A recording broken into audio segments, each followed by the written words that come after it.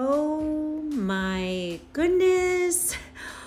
Why do I have so much Christmas stuff? How did I get so much Christmas stuff? Oh, yeah, that's right, because I absolutely love Christmas.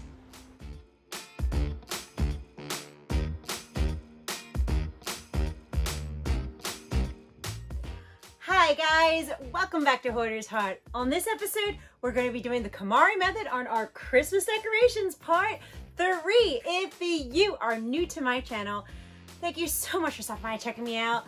I'm a hoarder and a recovering one at that. And I show you the messes and I tell you my mental struggles.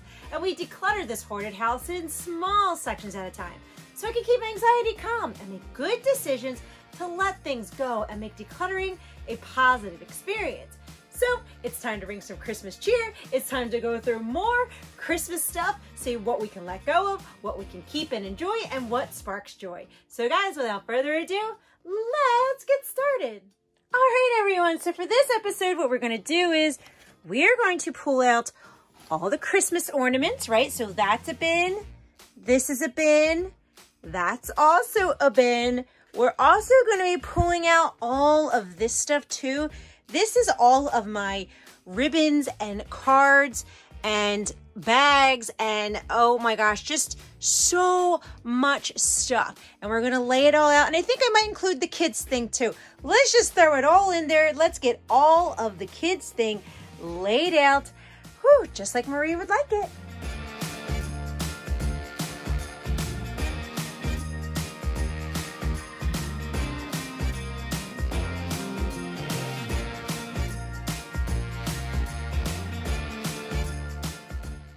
All right, everyone.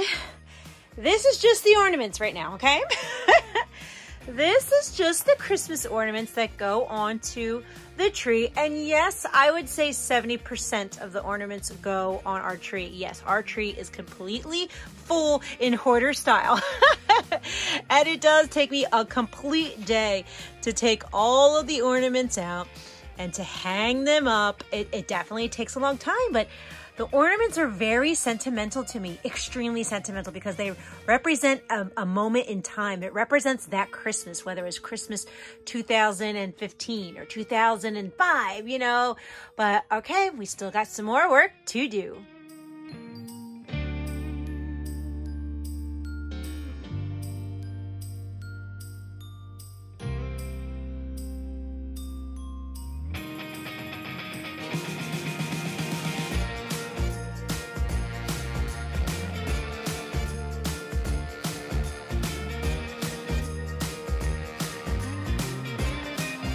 All right, guys, there you have it. Look at all that stuff. Oh my gosh. this is a lot of stuff, guys. These are my ornaments that are just so precious to me because I have such a sentimental attachment to them because each thing represents a year. Like there's our wedding one where we got married and Paw Patrol when my youngest was little and well Rainbow Brite. I love Rainbow Brite and My Little Ponies, right? And it's whew, this is hard for me because with hoarding disorder, you kind of have an attachment to a lot of things, right? You have a lot of sentimental attachment to a multiple amount of things. Now, when I start the KonMari method, what I'm learning that works best with hoarding disorder is that I have to pick this stuff that doesn't spark joy, right? I know Marie Kondo wants you to pick things that spark joy and hold on to that and be thankful and grateful and then go, you know, declutter the rest. Well, hoarding disorder is the opposite of that, right? Because what's going to happen is I'm going to say this sparks joy and that sparks joy and so does that and so does this. And then all of a sudden my mind's going to go wonky and be like, oh my God, I love everything. I'm not going to be able to declutter it. So what a hoarder has to do is look at it. Well, what doesn't spark joy, right? What doesn't spark joy? That way I can get the momentum going. Like, believe it or not, I found some Christmas cards from a while ago. And I feel like these Christmas cards, I can let them go. These can be the first things that we end up decluttering. And even underneath of this, we can let this go. We can let these lights go, right? I got plenty of other lights in my um, Christmas tub, so we can let that go. I don't make cards anymore. I really don't. So we can let this go. And if we come over here, I had noticed when I was putting them out, I have so many Christmas hats, like a ridiculous amount of Christmas hats that honestly, I can let them go. I can let all these Christmas hats go. Moving over here, I can let this go. This can go. We can sell it on Facebook Marketplace. And you know what? I mean, I can let this bow go too. It's probably sat in a bin for 10 years and I never even touched it. All right, everyone, here's where it's going to get really hard for me in the sense that there's a lot of crafts, right? You guys see all these kids' crafts? Well, I was always the room mom for my boys' class, and you know I went crazy with Christmas. They had crafts to make, games to play, and I just loved it. I dressed up like Mrs. Santa Claus. Oh, it was just so wonderful. Oh, go away, COVID. I could have done it this year. but no, um, so we made all these crafts and stuff but some of it I kind of had left over and it just kind of sat here, right? Because I was like, oh, I'll use it for next year. And for the majority, I was able to use it next year for treat bags and stuff like that. But this year, our COVID numbers are really going up. So I'm thinking what's going to happen is that they're going to cancel a lot of things, right? So I think what I'm going to do is I'm going to let go of some stuff because we have the Operation Christmas child. So like we could totally put this stuff in their bins so we can give that, right? I'm sure we can make a little craft kit and we can put it in there for them as well so we can let these pieces go.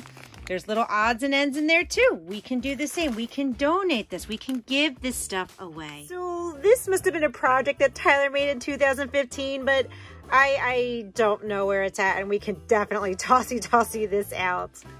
Ah, look, let me show you real quick. See where this is Tyler's second grade class gift? Look, this was supposed to be used for this year, right? Looks like I could have made some treat bags, but I always make the kids treat bags because there's some kids that don't get anything for Christmas and I'm not gonna be able to use it this year. So again, I should probably donate it and um, put some to Operation Christmas Child. That, what is, oh my gosh. 2016. I think the idea that I was going to do was I was going to take the charm off and then make something really cute as Christmas gifts. Clearly, I've never done it since 2016. So perhaps it's time to let these go too. Guys, there's just so much stuff like, oh, this is sweet. Oh. And you know what? I, I can let it go. It's, it's okay. We can, oh, that's cute too. Ah! Okay, okay. We can let this stuff go. All right, guys, this right here, this is all tossy-tossy. We can let that go. Same with this. This Rudolph's nose has seen way better days. This guy, I think this little guy is going to get donated too. I will keep these though. These bring me joy for my kids. Like, look.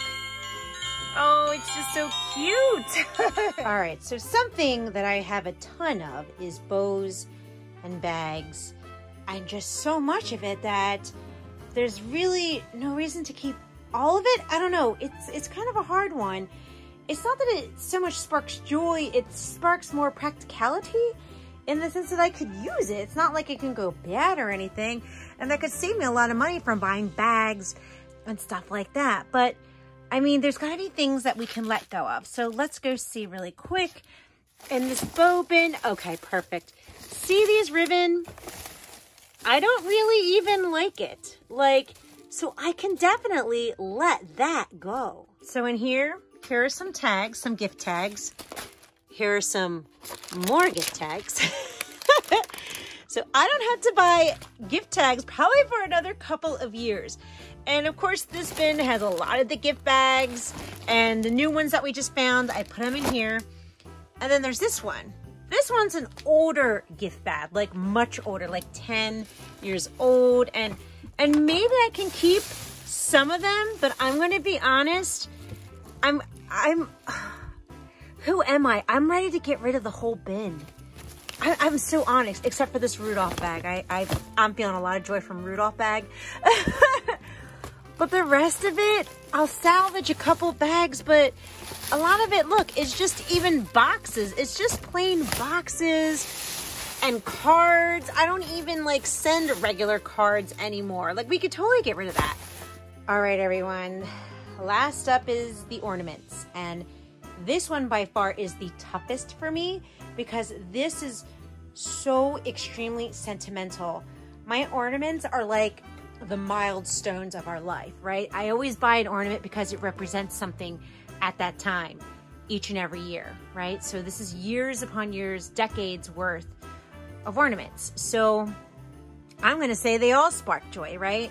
But what I have to do is find what isn't sparking joy to me right now. And that way the momentum gets started, which I can see right here.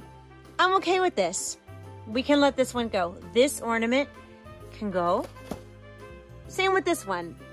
I mean, uh, it is cute. No, it's okay. This one, we can let go of. This one is okay. Um, this snowman. I don't even remember how we even got that snowman. So since there's no attachment to it, it's not sparking joy. This one we can let go of. All right, this ornament right here, we can let this box set go. There's even a broken one in there, so we'll make sure we throw out the broken one, but we can let go of this one.